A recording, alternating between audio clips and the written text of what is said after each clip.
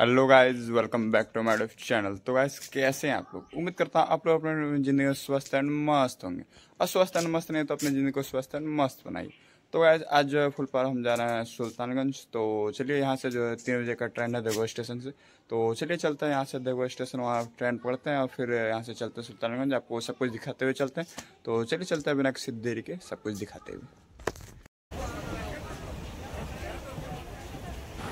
तो फाइनली जो हम सुल्तानगंज जाने के लिए निकल चुके हैं, अभी अब बाहर का मौसम देख सकते हैं, बहुत ही मस्त है, धूप थोड़ा ज़्यादा है तो गर्मी भी है। एक बार आप पूरा चेक कर सकते हैं और अभी जो अपना ट्रेन देव स्टेशन से जस्ट खुली है तो हम चलते हैं आगे आपको सारा अपडेट देते हुए, दिखाते हुए चलेंगे रास्ता का थोड़ा बहुत माहौल तो चलिए चलते हैं।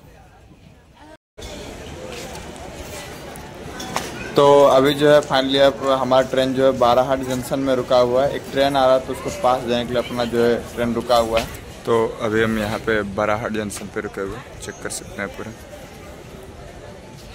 मौसम ऊपर का, मस्त व्यू है। यही वाला जो है ट्रेन देख सकते हैं, उधर से आ रही थी, जिसकी वजह से जो है ट्रेन हम लोग का रुका हुआ था।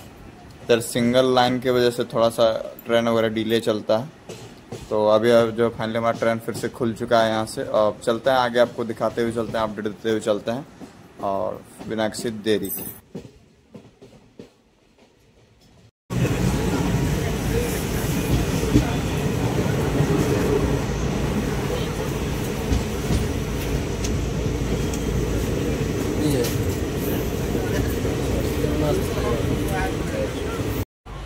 तो अभी हम लोग जो है देवघर से आधा दूर पहुँच चुके हैं सुल्तानगंज के लिए।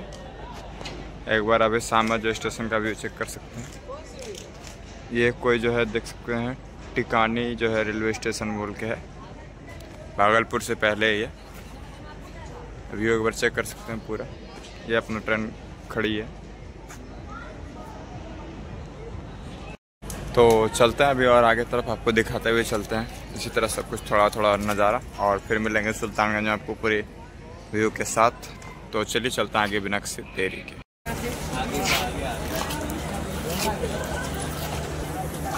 तो हम लोग फाइनली जो है सुल्तानगंज पहुँच चुके हैं। चेक कर सकते हैं सुल्तानगंज स्टेशन का व्यू पूरा। Here we go for Sultanganj station अभी हमको उस साइड जाना है सीढ़ी से निकलने के लिए। ये है अपना पूरा सुल्तानगंज स्टेशन।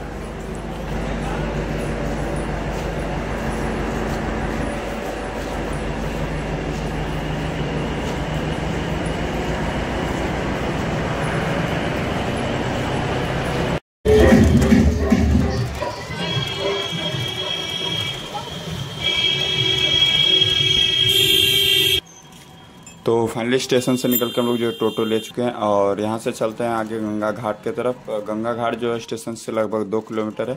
तो चलिए यहाँ से चलते हैं आगे, वहाँ पे देखते हैं, पूरा गंगा घाट वगैरह घूमते हैं, उसके बाद फिर जो है ठहरने का क्या व्यवस्था वो भी देखते हैं, क्योंकि हम लोग को यहाँ से निकलना है कल सुबह। तो चलिए चलते हैं आगे और पहुँचते गंगा घाट के पास, माँ गंगा के दर्शन करते हैं, आपको भी कराते हैं। तो चलिए चलते हैं बिना किसी देरी कर सब कुछ करते हैं फिर तो हम लोग सुल्तानगंज जो है फाइनली पहुँच चुके हैं। और यहाँ पे हम लोग जैसे धर्मशाला में अभी रुके हुए हैं। अब यहाँ से चलते हैं घाट की तरफ़। उधर घूमते हैं, आपको भी घुमाते हैं। और सब कुछ दिखाते हैं। तो यहाँ पे गंगा घाट के जस्ट बगल में हम धर्मशाला में रुके हैं। यहाँ पे अपना सारा सामान रख के निकल चुके हैं घूमने। यहाँ पे आप चेक कर सकते हैं अगल बगल का सारा सेट ये गंगा घाट के जस्ट बगल में ये सारा सेट यहाँ पे रुकने के लिए जो है पूरा व्यवस्था दिया गया है। और ये सारा सेट जो है फ्री ऑफ़ कॉस्ट है बट धर्मशाला में अगर आप रुकेंगे तो वहाँ पे कुछ चार्जेज है, बहुत ही नॉर्मल चार्जेज है तो वो भी आप ले सकते हैं। धर्मशाला में मात्र जो है रूम कॉस्ट फिफ्टी रुपीज़ है फॉर फाइव पर्सन तो धर्मशाला में भी रुक सकते हैं और इधर जो ये सब सेट है, ये सब निःशुल्क है। ये सब में जो है आपको कोई कॉस्ट नहीं लगे फ्री ऑफ़ कॉस्ट है। इधर भी देख सकते हैं पूरा सेट बना हुआ है, हम लोग जो है घाट पे पहुँच चुके हैं। और देखते हैं अंदर तरफ़ तो ये देख, पहला घाट अभी हम लोग पहुँच चुका है यहाँ पे जो अभी गंगा मैया का पानी बिल्कुल ही नहीं है।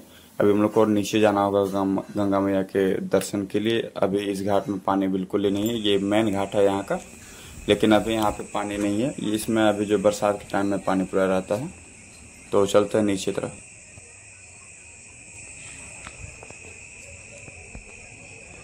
इधर जो है, अभी देख सकते हैं, गंगा मैया का पानी नहीं है। इधर अभी सूख चुका है।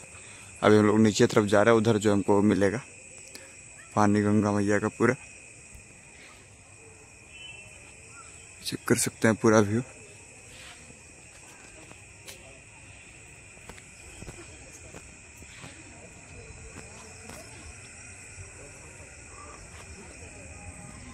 इधर देख सकते हैं, मंदिर वगैरह भी है।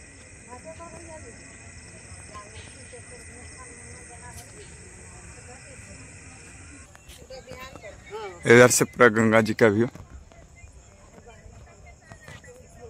इधर ये पुल से जो है इस मंदिर पे जाने का रास्ता है लेकिन अभी जो है पूरा सूखा हुआ है। तो जहाँ से आपका मन करे वहाँ से आ सकते हैं अभी। इधर से पूरा मंदिर का व्यू चेक कर सकते हैं।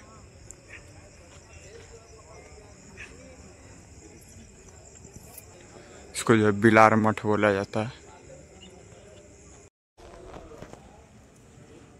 हंस देख सकते हैं क्या आराम से बैठा है।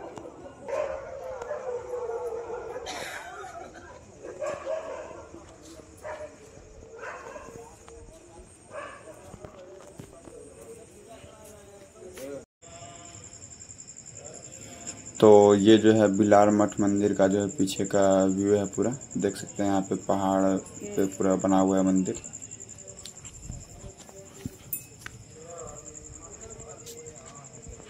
इधर पूरा घाट देख सकते हैं, अभी सूख गया है पूरा। इधर देखते हैं जल कहाँ है।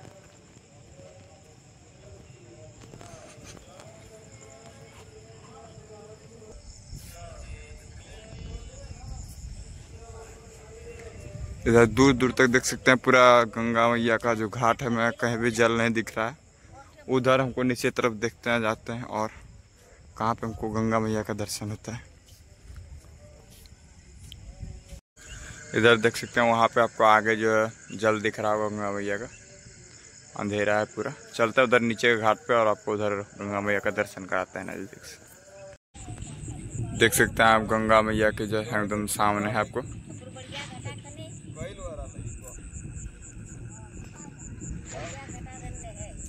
देख सकते हैं। गंगा मैया का दर्शन।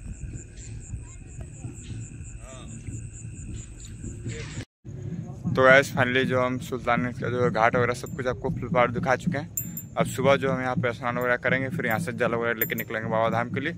तो फ़िलहाल इस वीडियो में इतना वीडियो आपको अच्छा लगा तो वीडियो को लाइक शेयर चैनल को सब्सक्राइब ज़रूर कीजिएगा। और आपको जो सुल्तान वगैरह आना है तो धर्मशाला वगैरह में रुक सकते हैं, बहुत ही कम कॉस्ट है अभी। तो ठीक है, आए तो आप आराम से धर्मशाला वगैरह ले सकते हैं। तो फ़िलहाल इस वीडियो में इतना ही। वीडियो को अच्छा लगा तो वीडियो को लाइक शेयर चैनल को सब्सक्राइब ज़रूर कीजिएगा। मिलता है आपको नए वीडियो से नए टॉपिक के साथ। किसी नज़र पर तब तक के लिए जय हिंद, जय भारत।